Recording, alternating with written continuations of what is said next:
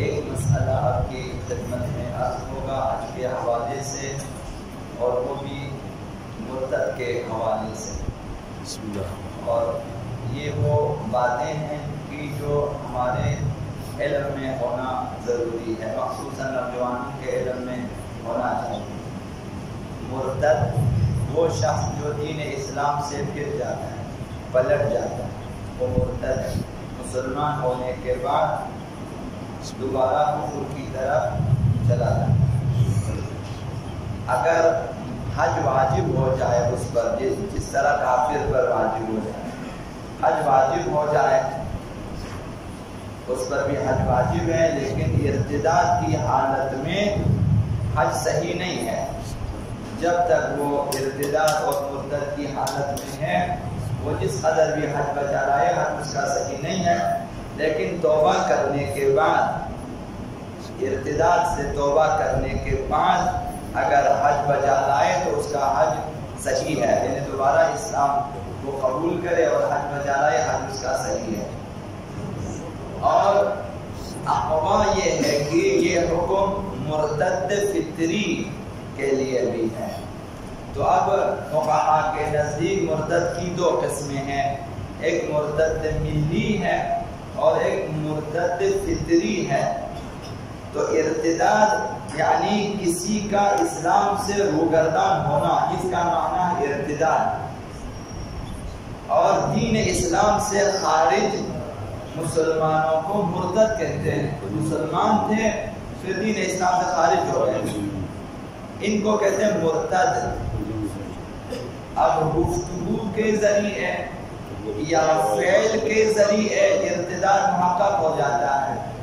ایک انسان بولتا ہے مرتد ہو جاتا ہے، یا کچھ ایسا عمل انجام دے دیتا ہے کہ جو ارتداد پہ دلالت کرے، اس طرح سے بھی مرتد ہو جاتا ہے۔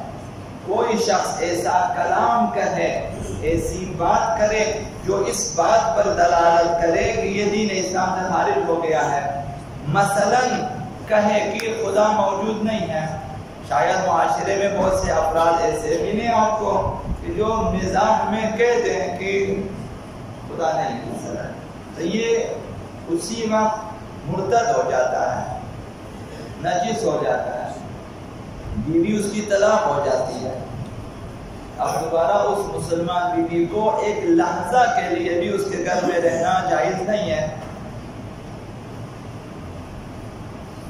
یا پھر کہیں مثلا کہ حضرت محمد صلی اللہ علیہ وسلم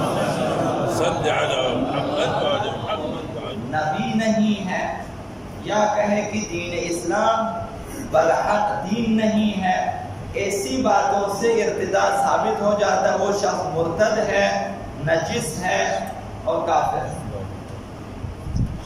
ضروریات دین کا انکار بھی اسی قسم سے ہے۔ مثلا کہے کہ نماز واجب نہیں ہے، روزہ واجب نہیں ہے ہمارے کرم حج واجب نہیں ہے، مستطیع شخص پر مثلا۔ یا کہ اسلام میں زکوٰۃ نام کی کوئی چیز نہیں ہے، یا کہ خمس واجب نہیں ہے، مثلا۔ جو ضروریات دین یعنی وہ مسائل دین جس کا واجب یا حرام ہونا سب کو پتا ہے، عموم مسلمین کو ضروریات دین۔ بدیہیات دین، واضحات دین۔ اس سے انکار کرے تب بھی انسان مرتد ہو جاتا ہے۔ یا کسی فعل کے ذریعے ارتداد محقق ہو جاتا ہے۔ جیسے کوئی کفر آمیز کام کو جان بوجھ کر انجام دے اور اس کام کے کفریہ ہونے کو جانتے ہوئے انجام دے۔ مثلا بدھ کو سجدہ کرے۔ ایک بدھ ہے، اس کے سامنے جا کر سجدہ کرے یا چاند یا سورج کی پرستش کرے یا دینی مقدس، مثلا کعبہ کی توہین کرے۔ یہ مقدس نہیں ہے، یہ قبلہ نہیں ہے، میں اس طرح سے ایسے عمل انجام دے۔ کہیں کچھ بھی نہیں، لیکن کرے اور اس سے پتا چلے کہ یہ شخص دین اسلام سے فارغ ہو گیا ہے۔ تو اس ایسے اعمال سے بھی مرتد ہونا ثابت ہو جاتا ہے۔ اب مرتد کی دو اقسام مرتد فطری، وہ شخص جو پیدائشی طور پر مسلمان ہے، ماں مسلمان ہے، یا باپ مسلمان ہے، یا دونوں مسلمان ہیں۔ اور یہ شخص پیدا ہوا فطرت اسلام پہ۔ اب اس کے بعد یہ شخص اسلام کو چھوڑ دیتا ہے، اس کو کہتے ہیں مرتد فطری۔ یا پھر مرتد ملی ہے، کہ وہ شخص مسلمان، ماں باپ مسلمان نہیں تھے یہ خود بڑے ہونے کے بعد اسلام کو قبول کیا، پھر دوبارہ چھوڑ دیا۔ جس کو کہتے ہیں مرتد فطری، ملی۔ تو چاہے مرتد فطری ہو، یا مرتد ملی ہو، دین اسلام سے خارج ہے نجس ہے، کافر ہے، اور جو ہے ارتداد کی حد جب جیسے ہی مرتد ہو جاتا ہے، بیویاں طلاق ہو جاتی ہیں میرا سے معلوم ہو جاتے ہیں، وغیرہ، بہت سارے احکام ان کے لیے ہے بس ایسے اشخاص جو مرتد ہو چکے ہوں اگر آپ کے علم میں ہے مثلا ان پر بھی حج واجب ہو جاتا ہے اگر مستطیع ہو جائے لیکن ارتداد کی حالت میں حج صحیح نہیں ہے۔ اگر توبہ کرے اور اس کے بعد دوبارہ حج انجام دے تو اس وقت ان کا حج صحیح ہے۔ باسمك العظيم الأعظم أتعزل لك للأكرم يا الله